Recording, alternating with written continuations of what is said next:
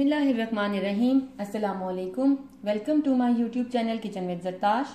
Viewers I hope आप सब खैरियत से होंगे और खुश होंगे। आज हम अपने किचन में न्यूटेला केक बनाएँगे।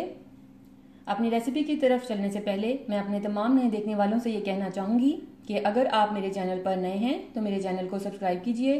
बेल आइकन पर क्लिक करने से आपको मेरी तमाम नई आने वाली वीडियोस का नोटिफिकेशन मिलता रहेगा। और अगर आपको मेरी वीडियोस अच्छी लग रही हैं तो इनको लाइक कीजिए शेयर कीजिए। तो चलिए अब हम अपनी रेसिपी की तरफ़ चलते हैं। इस रेसिपी के लिए हमें जिन इंग्रेडिएंट्स की ज़रूरत है, वो कुछ इस तरह से हैं। इसके लिए मैंने 200 हंड्रेड एम ऑयल ले लिया, तकरीबन एक कप और वन फोर्थ कप के करीब ये ऑयल है। फोर टेबल स्पून मैंने योगर्ट ले ली four tablespoon milk coconut milk powder है, इसका इस्तेमाल करेंगे। वन टीस्पून वेनीला एसेंस का यूज़ करेंगे। One teaspoon baking soda one teaspoon baking powder चार अदद अंडे इस्तेमाल करेंगे। टू कप्स लेवल्ड मैंने मैदे के ले लिए, एक कप और आधा कप चीनी, घर की पिसी हुई चीनी जो हम आम रेगुलर चीनी यूज़ करते हैं, उसका इस्तेमाल करेंगे। वन फोर्थ कप और दो टेबलस्पून भर के हम कोको पाउडर का इस्तेमाल करेंगे। इन तमाम चीज़ों को यूज़ करते हुए हम चॉकलेट स्पंज रेडी करेंगे। बाउल में सबसे पहले मैं ड्राई इंग्रेडिएंट्स को ऐड करूँगी। इसमें मैं सबसे पहले मैदा शामिल कर रही हूँ। उसके बाद cocoa powder.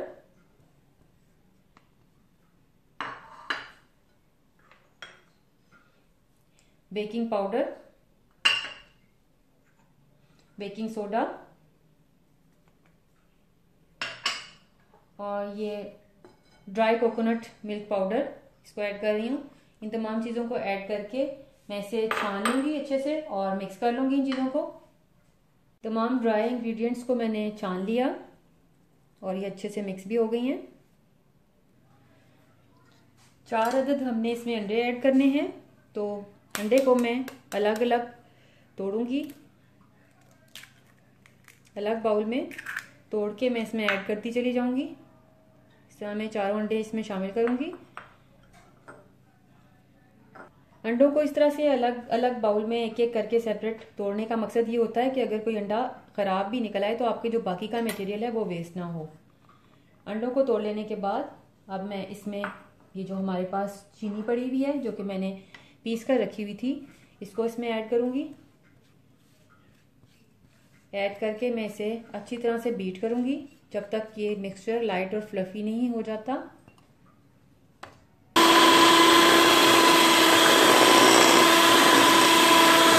से चार मिनट के लिए मैंने इसमें बीटर को चलाया है। अब ये बिल्कुल लाइट और फ्लफी हो चुका है मिक्सचर इसमें इस वक्त मैं एक टीस्पून वनीला एसेंस ऐड कर रही हूँ। एक टीस्पून वनीला एसेंस ऐड करने के बाद इसमें मैं फिर ऑयल ऐड करूँगी। ऑयल को हमने बिल्कुल स्लोली ऐड करना है, एकदम से ऑयल ऐड नहीं करना।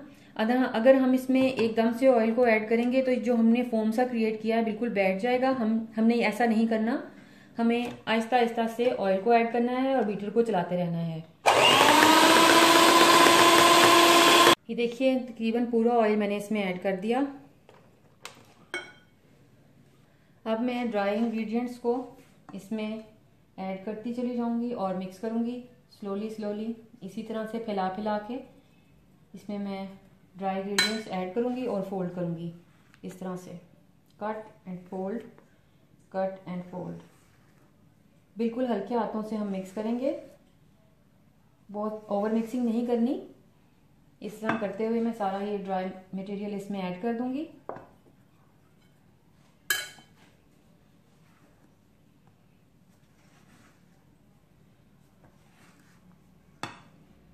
तकरीबन हाफ़ मिक्सचर मैंने इसमें ड्राई इंग्रेडिएंट्स जो हैं इस मिक्सचर में मैंने ऐड कर दिए हैं तकरीबन हाफ़ और अब मैं इसमें हाफ़ यानी कि दो टेबलस्पून के करीब योगर्ट ऐड कर रही हूँ और मैं इसे भी मिक्स करूँगी। फिर से मैंने ड्राई इंग्रेडिएंट्स ऐड किए और अब ये बाकी की योगर्ट मैं इसमें ऐड कर रही हूँ। इसको ऐड करके।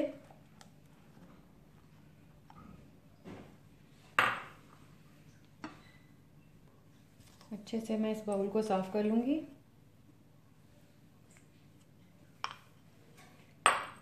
इसको ऐड करके अब मैं मिक्स करूँगी।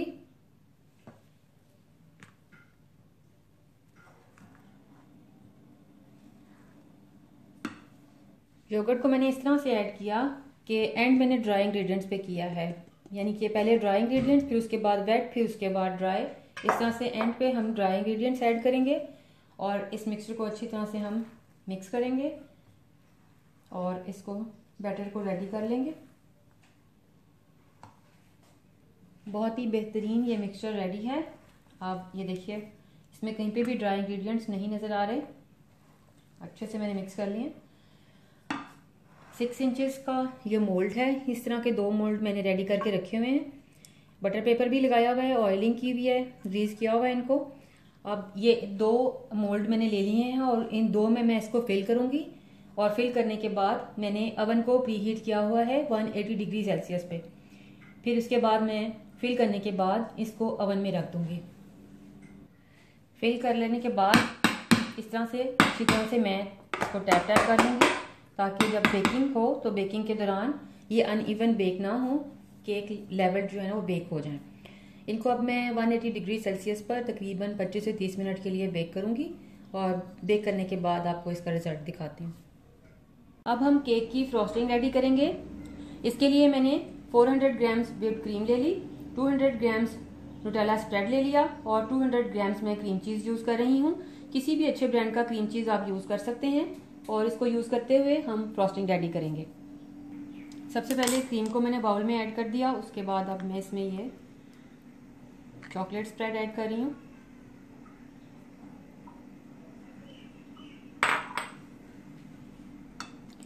क्रीम चीज़ को मुझे थोड़ा सा बीट कर लेना है, थोड़ा सॉफ्ट कर लूँगी।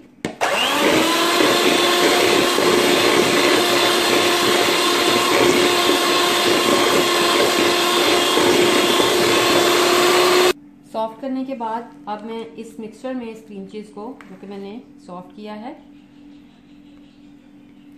मैं ऐड कर दूँगी। जिसमें कि मैंने पहले क्रीम और चॉकलेट स्प्रेड ऐड किया था। इसमें मैं इसको ऐड करके दोबारा से बीटर चलाऊँगी और इन तमाम इंग्रेडिएंट्स को मैं अच्छे से मिक्स करूँगी। तमाम इंग्रेडिएंट्स को अच्छे से मिक्स कर लेने के बाद अब ये हमारी फ्रॉस्टिंग रेडी है। केक्स को ठंडा करने के बाद मैंने मोल्ड में से निकाल लिया है। इसको मैं अब अनकवर करूँगी। ये जो मैंने पेपर लगाया था, ये उतार लूँगी। इसकी मैं कटिंग करूँगी और इसको बिल्कुल लेवल करूँगी केक को इवन करूँगी।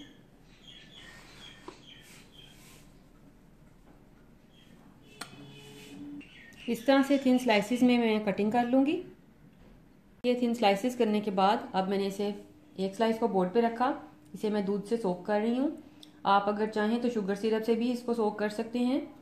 मैंने इसमें कंडेंस मिल्क और प्लेन मिल्क मिक्स करके ये मिक्सचर रेडी किया है। इससे मैं इसको अच्छी तरह से सोक करूँगी। किनारों पे भी अच्छे से सोक कीजिएगा, ताकि कोई भी पार्ट इसका ड्राई ना रह जाए केक का।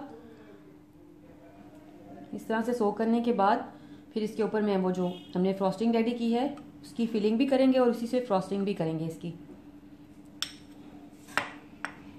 करने के बाद अब मैंने इसके ऊपर ये फिलिंग डाली और इस तरह से मैं इसको स्प्रेड कर रही हूँ इवनली उसके बाद मैं इसके, इसी तरह से इसके ऊपर स्लाइस रखूँगी केक का। नेक्स्ट स्लाइस रख के उसको मैं मिल्क से सॉक करूँगी और इसी तरह से मैं इसकी लेयरिंग करती चली जाऊँगी। केक की फ्रॉस्टिंग मैंने कर दी है। आधा कप हेजलनट स्प्रेड में मैंने दो टेबलस्पून वेजिटेबल ऑयल ऐड किया और उसे मिक्स कर लिया। अवन में तीस सेकंड के लिए मैंने इसे चलाया और इसे मिक्स किया।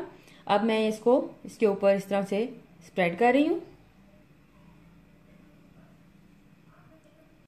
लीजिए व्यूअर्स बहुत ही यमी न्यूटेला केक रेडी है। आप इस पर अपनी मर्ज़ी से कोई भी टॉपिंग या डेकोरेशन कर सकते हैं। मैंने जिस तरह से इसको डेकोरेट किया, वो मैं आपको दिखा रही हूँ।